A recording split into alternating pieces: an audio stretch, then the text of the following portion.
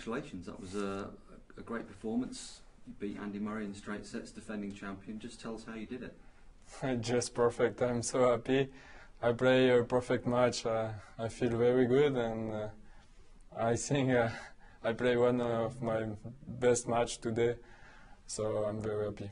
Just tell us about that second set. It seems like neither of you could hold serve. Obviously, you won the second set in the match, but you, were you disappointed at the, the serving?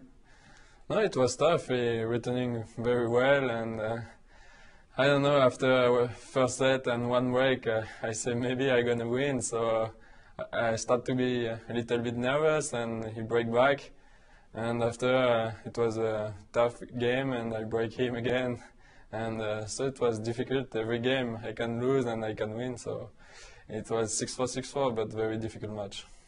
Obviously, played some good players in Toronto. You beat Jo-Wilfried, and you've obviously had some good performances here. Why are you playing so well at the moment?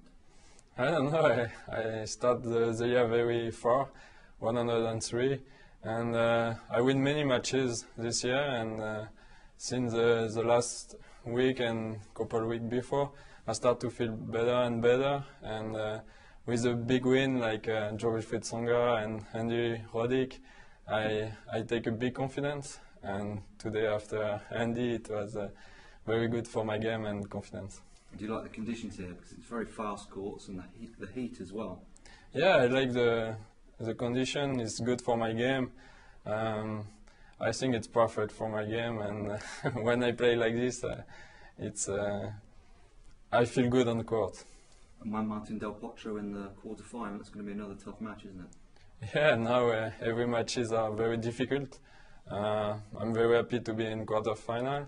So now I have to, to be focused for my next match and uh, I will prepare my match with my coach uh, tonight.